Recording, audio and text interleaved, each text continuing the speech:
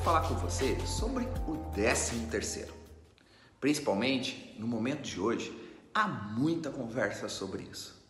Agora, você já parou para pensar verdadeiramente quem é que se beneficia com o 13 terceiro? Pois bem, presta muita atenção no que eu vou falar.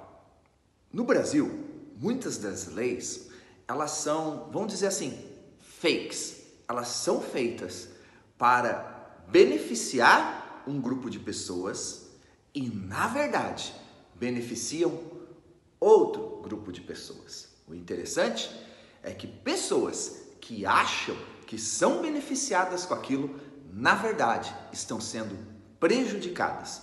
Tudo isso devido a um sistema que foi feito para prejudicar algumas pessoas e beneficiar outras. Bom, isso você já deve ter percebido que no Brasil muitas coisas funcionam assim. Claro que não são tudo.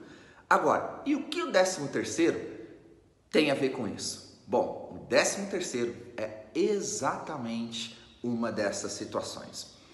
Você que é um trabalhador, trabalha pela SLT, acha que o 13 terceiro beneficia você. Não.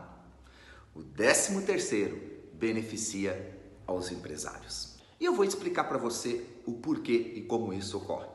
Imagina o seguinte, que você tem um salário de 3 mil reais.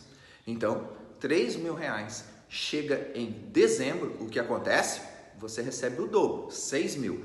3 mil do seu salário normal e mais 3 mil reais do seu décimo terceiro, 6 mil.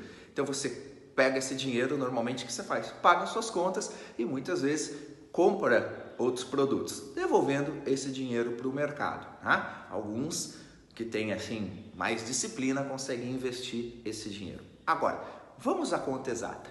O que é esses 3 mil reais a mais que você recebeu do 13 terceiro? É um dozeavos de cada mês que você trabalhou no ano. Ou seja, 3 mil dividido por 12 dá 250 reais a mais. Então, a cada mês que você trabalhou durante o ano, você acumulou como direito de receber no final do ano 250 reais a mais por mês que você trabalhou. Claro, isso se o seu salário for 3 mil reais. Agora imagina só, se você não acumulasse esse dinheiro e esse dinheiro viesse para você, ou seja, o 13 terceiro integrado ao seu salário mês a mês. Então você não receberia 3 mil. Quanto que você receberia? 3.250. Percebe aí? Você está sendo lesado em 250 reais. Aquele empresário que tem um pouquinho mais de disciplina, 250 reais todo mês e vai guardando. Vai investindo para te devolver em dezembro. Então ele junta ali 250 vezes 12, 3 mil.